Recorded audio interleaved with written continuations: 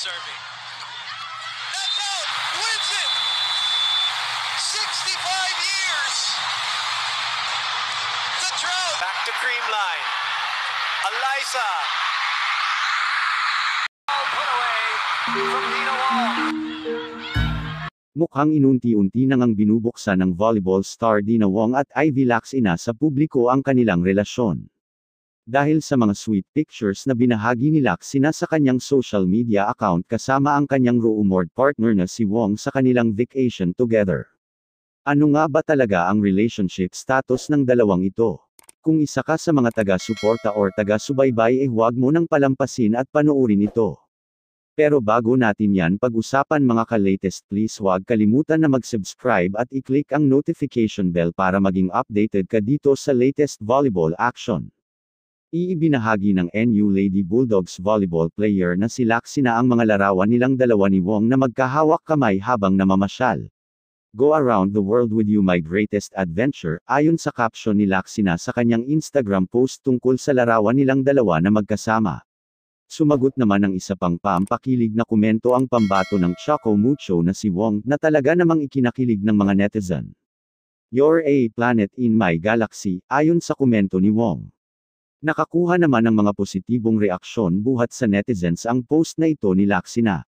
Grabe yung glow up nilang dalawa, maganda na lalo pang gumanda. Iba talaga kapag nasa tamang tao, ayon sa isang komento. Hope na kayo hanggang dulo, ayon pa sa isang netizen. Matagal na rin usap-usapan ng mga volleyball fans at madlang people kung ano nga ba talaga ang namamagitan kina Dina at Ivy.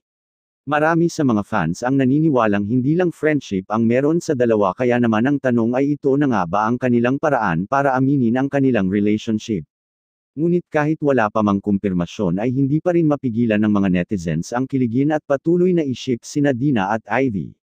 Welcome sa City of Love Lovebirds. Comment ng isang netizen.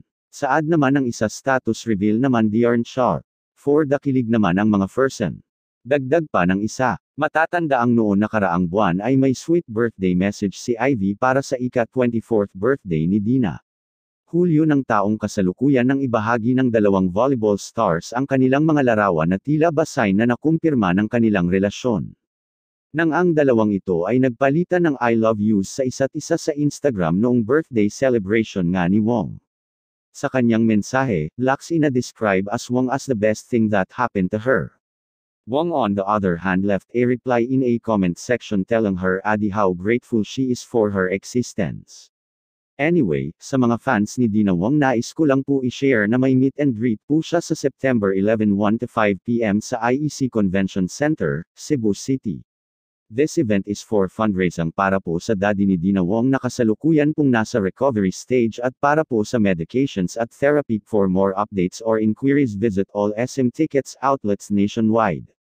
So mga ka-latest, sa palagay nyo ba sila na nga ba talaga kahit na walang kumpirmasyong sinalaysay ang rumored volleyball couple na ito? Comment down below nyo na yan.